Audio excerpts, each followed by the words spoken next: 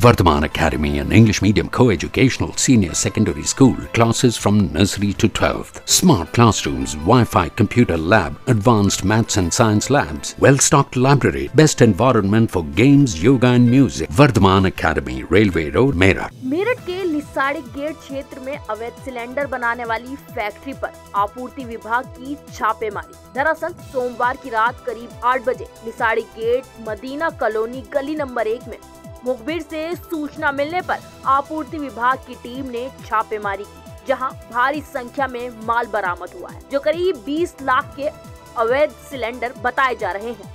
क्षेत्रीय खाद्य अधिकारी किशोर कुमार ने बताया कि टीम ने माल को कब्जे में ले लिया है, जिस पर फैक्ट्री के आसपास के लोगों ने इसका विरोध किया। जिसके बाद आपूर्ति विभाग की टीम ने पुलिस को सूचना दी सूचना मिलने पर पहुँची पुलिस ने मामले को शांत कराया। इस दौरान क्षेत्रीय खाद्य अधिकारी सुनील कुमार के साथ साथ आपूर्ति निरीक्षक अजय कुमार आपूर्ति लिपिक शादाब आदि मौजूद रहे। देखिए।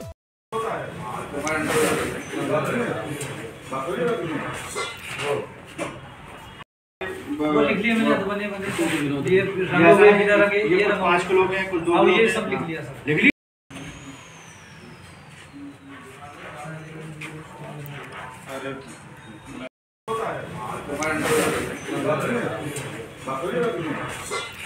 कहीं ना कहीं।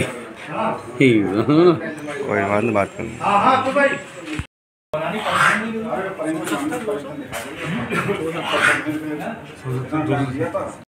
तो कोई बात नहीं खा लो खड़े।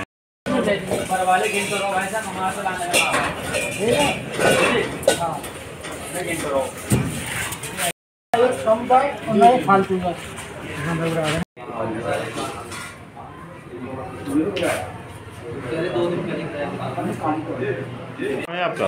Ajay Kumar supply inspector. क्या मामला है? या आप कहाँ आए हुए हैं? ये अवैध कारोबार हो रहा है इसका गैस सिलेंडर बनाए जा रहे हैं। किस कंपनी का सिलेंडर इसमें कोई, कोई लोगों ने ना ना कोई कंपनी है। कितने सिलेंडर यहाँ से बरामद किए हैं?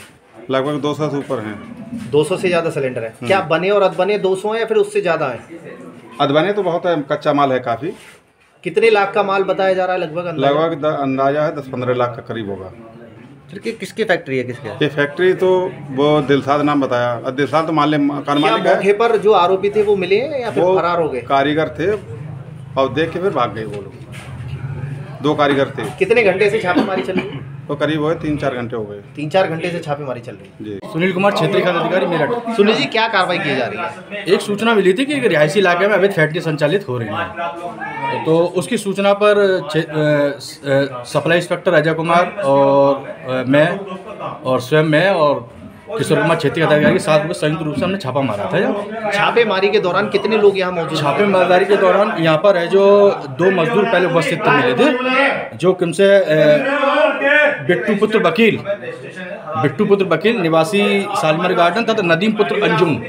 निवासी साली सालिमर गार्डन लेते इनसे पूछताछ करने पर बताया था कि हम यहाँ फैक्ट्री मजदूरी करते हैं। मजदूरी का काम करते हैं तथा ये सिलेंडर बनाने का काम हमके द्वारा किया जाता है। तो पूछताछ था उनसे उनसे कितने लाख का माल बरामद हुआ है? माल करीब ये कच्चा माल वगैरह मिला करके करीब मेरे कुछ सिलेंडर बने हुए हैं 200 सिलेंडर के लगभग। पाँच किलोग्राम क्षमता और दो- दो किलोग्राम क्षमता क्षमता के सिलेंडर है। अभी के लिए इतना ही आप देखते रहिए फास्ट बाइट डॉट टी